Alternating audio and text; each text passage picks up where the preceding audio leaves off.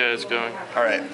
Now, first off, I like to start off my speech with uh, kind of a, you know, an explanation of my project. My project is uh, at Drury University, right over here, over on uh, Division Street, over by Boonville, over by the headquarters. I want to start doing a series of outreaches to help uh, re- reach the Drury students who I know haven't been reached, haven't been really reached by the of God before because it is a private institution, but I'm not sure if it's considers itself Christian anymore.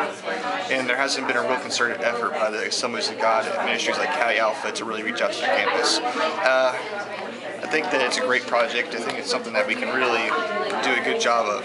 First off, my primary audience that I want to aim the speech at is Crosswalk Ministries, which is obvious because they're kind of the group that kind of organizes the student body to do the ministry opportunities.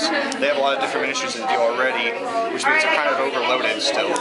But, you know, it's really easy for them, I think, to add this in. It's not going to take a whole lot of time off their schedule. Uh, secondary audience is the uh, Drury students themselves as uh, you know, that's who we're trying to reach. Is the people that need Jesus, people that I think need our help, and we can really reach them effectively because we're academic students like them. We're trying to be scholars. We're trying to do our best, and we're from a reputable institution just like they are.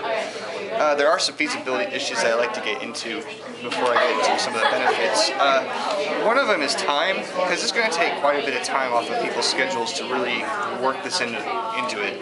Crosswalk Ministry, I'm sure it doesn't take them much time at all to organize things because it's really, you know, this is kind of a straightforward opportunity. You go do an outreach at you know, university campus.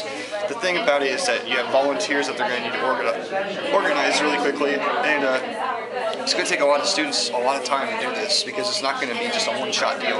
We're going to try and keep going back, keep outreaching, keep trying to bring the light of Jesus to a campus that needs it. Uh, some another visibility uh, thing is you know money. I mean, it's going to cost a lot, and everybody knows that money is something that is really necessary in today's society. And with the economy as it is, it's a really useful tool. So the benefit, one of the main benefits, though, I think the most important one we can talk about, is that it will be bringing the salvation that Jesus brings to a campus that needs it. I don't think there's any more benefit that you really need to get into a project like this, because there's no more important task that we've been assigned by Christ to bring the light of salvation to his people.